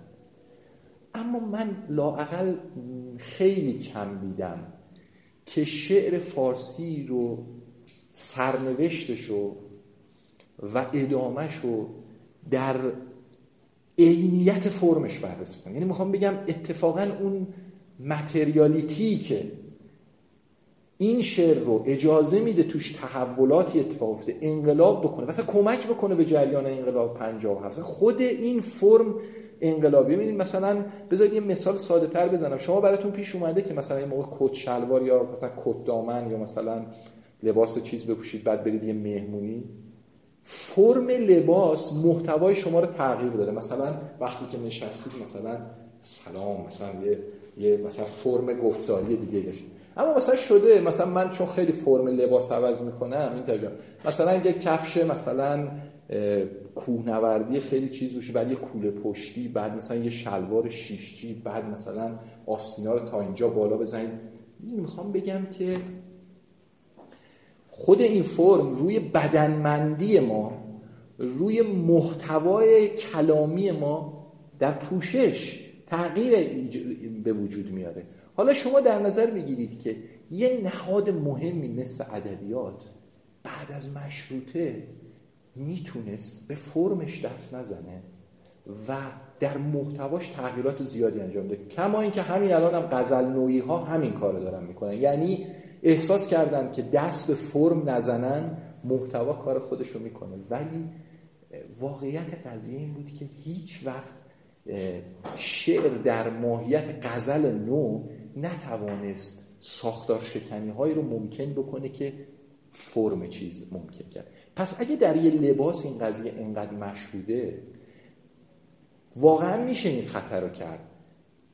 و برخلاف تمام توضیحاتی که سعی می‌کنن که هیچ جایگاهی برای ادبیات در شکلگیری انقلاب 57 قائل نباشن و نهایتا بگن شبهای شعر گوته خب که به نظرم مسخره این روایته اتفاقا اون چیزی که شعر ما رو چیز زبان ما رو بهش جسارت میده که بیاد توی شعرش بگه که من اگر برخیزم تو اگر برخیزی همه برمیخیزن من اگر بنشینم تو اگر بنشینی چه کسی برخیزد؟ ببین این محتوا مال یه جسارتیه که ابتدا به امر فرم براش ممکن کرده. واقعا بعضی از این ابیات توی انقلاب 57 انسانها رو زوب می‌کرد. یعنی واقعا احساس می‌کردن که توی اون لحظه اون عمل انقلابی محصول محتوایی بود که بدون این, ما... این متریالیتی این فرم امکانش رو مهیا کرد شما به حرفای همسایه هم مراجعه بکنید من حرف پرتی نمی‌زنم. نیما توی حرفای همسایه جا به جا میگه که محتوای شعر نو با اون قالب با اون فرم ممکن نمیشه. یعنی وقتی می‌خواد بگی می‌خوام برسونم به دکلاماسیون به طبیعت کلام من نیاز به یه فرم مجزایی دارم. اگه تا اینجا نقطه نظری دارید بگید که من بعد دو سه جمله اضافه کنم و دیگه خیلی چیز نکنم. اون چیزی که باعث میشه که محتوا تغییر بکنه سازگاری محتوا با فرم یعنی محتوا با فرم سازگار کنه تغییر می‌کنه.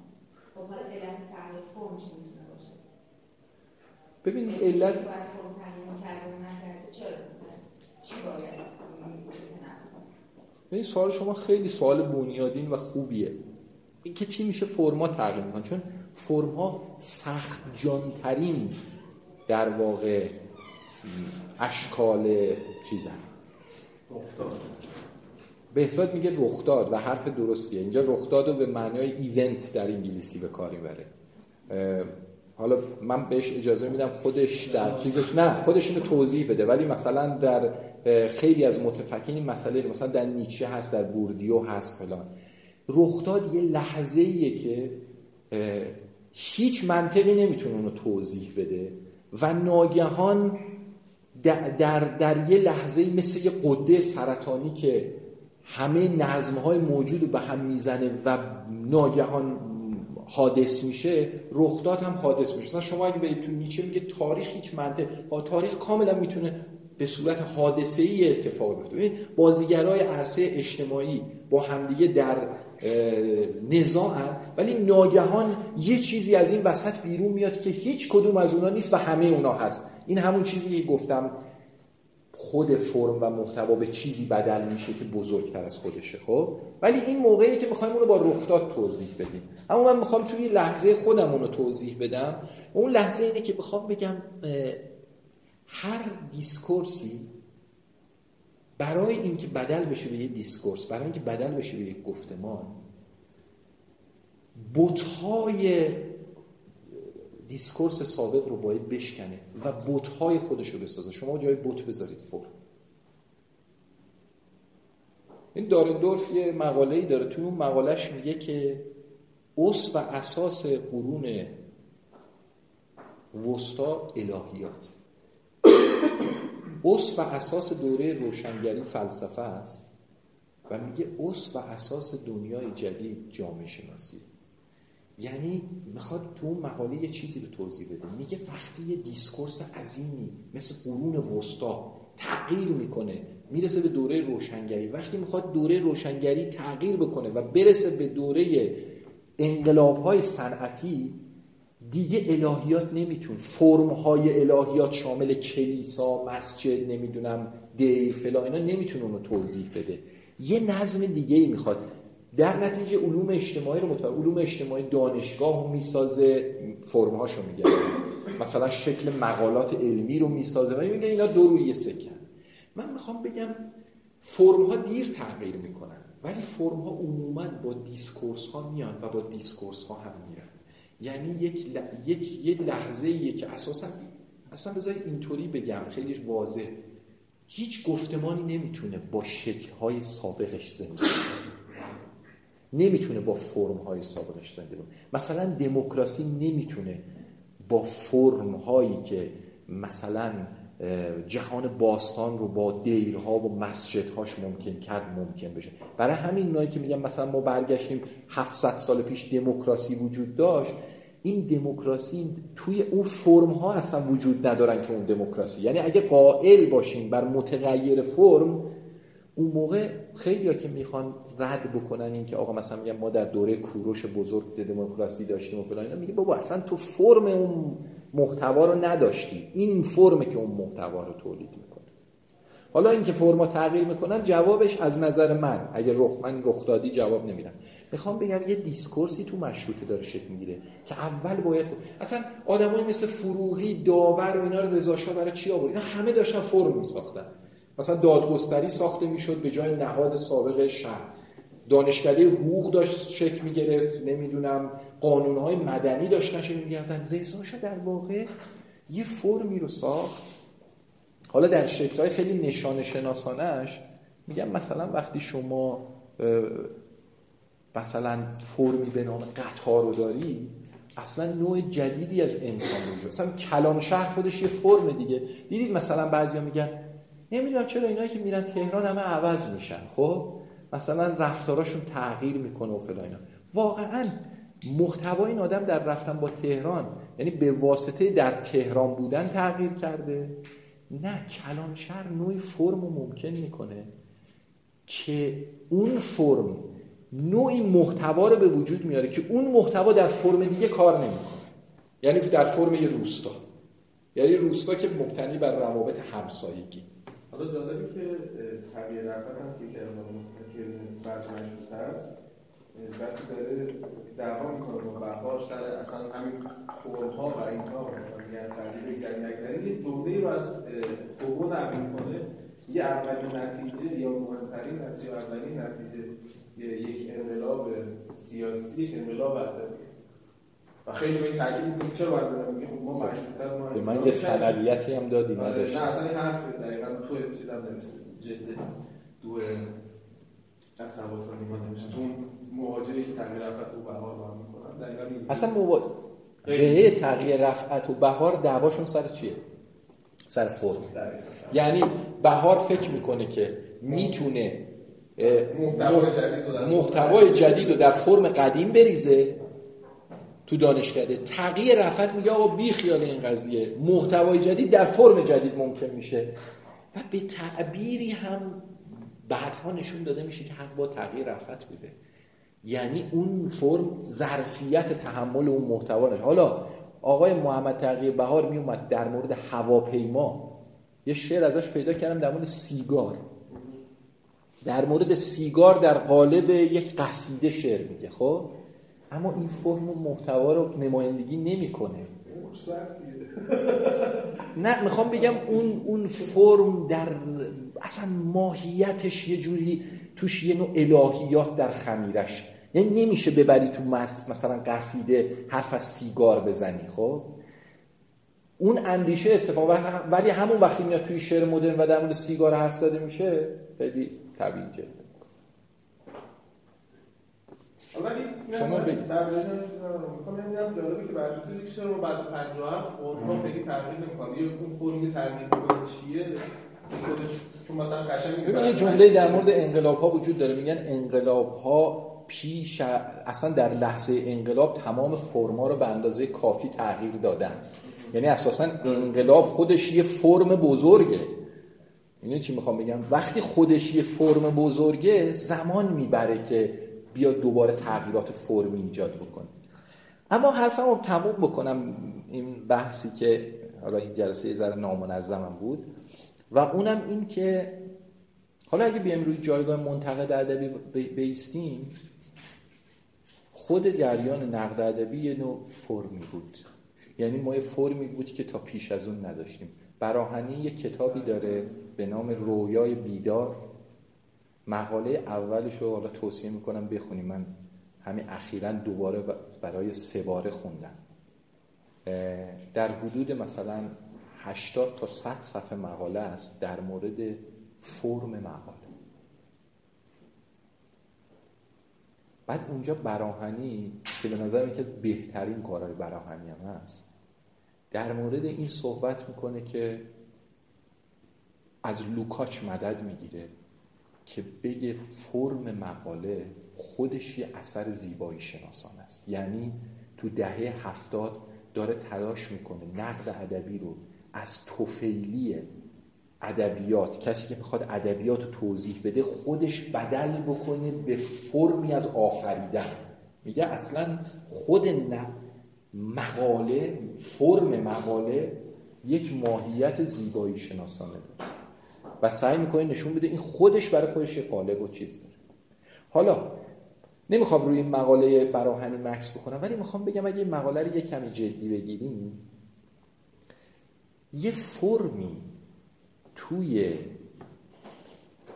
نقد ادبی ما شکل می‌گیره که این فرم خود به خود گونه ای از محتوا رو در درون خودش ممکن می‌کنه. مثلا ما در دوره صفویه هم داشتیم که نقد بر شعر می نوشتن آدمایی مثل علی خان آرزو و نمی‌دونم کی. اما مسئله سر اینه که یک سری از سخنان و یک سری از نظم ها و اون مفاهیم برساختی تاریخی در قالب مقاله ممکن شد.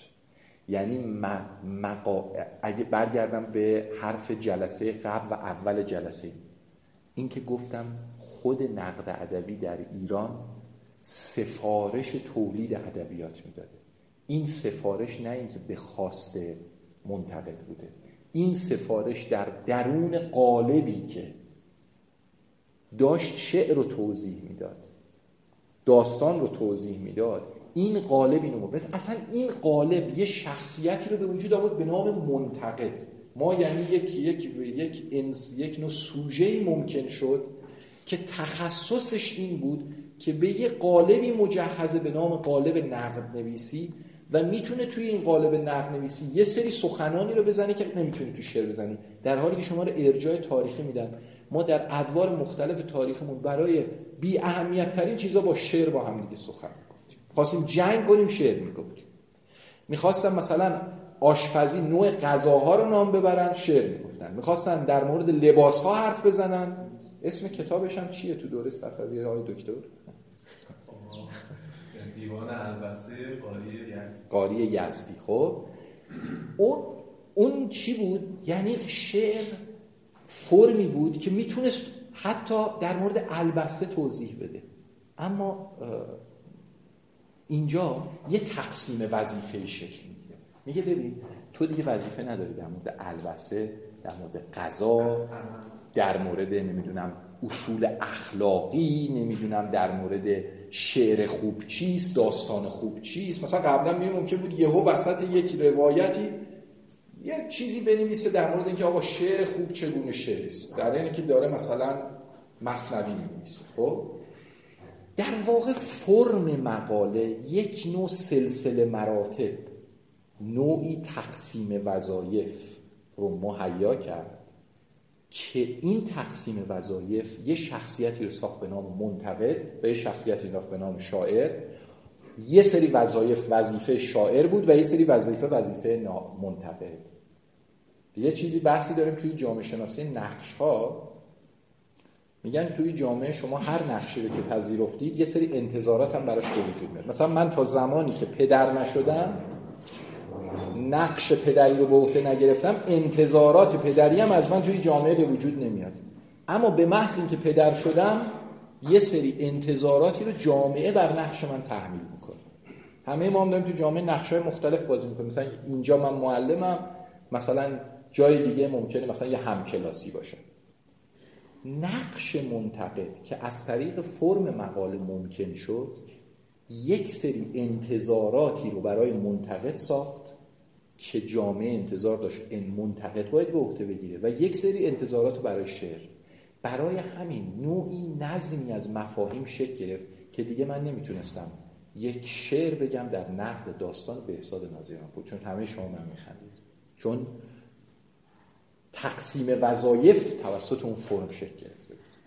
خب خیلی نکته مهمیه ها. یعنی اصلا نباید دست کم بره خب من همینجا بحثم رو به پایان می‌برم ولی فکر می‌کنم مشتم و تقریبا باز کردم برای جلسه ای که نوشته بودم که در مورد فروشگاه گرزین و موقع محمدیت ها؟ یکی از سرفصلامون این بود که